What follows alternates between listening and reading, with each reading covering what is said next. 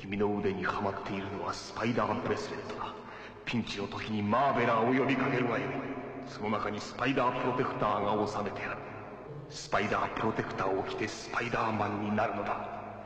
さあプロテクターを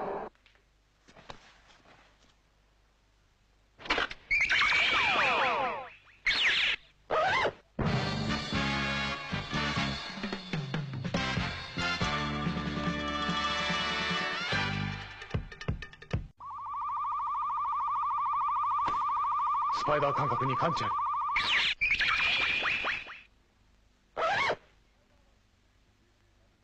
り悲鳴が聞こえた。スパイダー感覚に感知あり南西3キロ。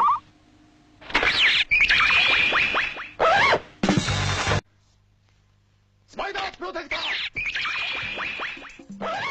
スパイダーマンは行動に移ひとみさんの声だ。あっちだ。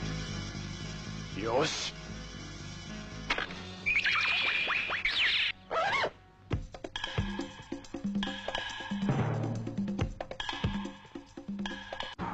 拓也は一刻の猶予もできなかった。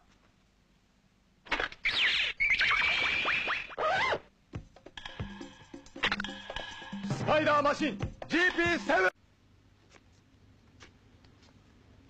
そんなことまでしてスパイダーマンに会いたい。なぜだろう？スパイダープロテクター。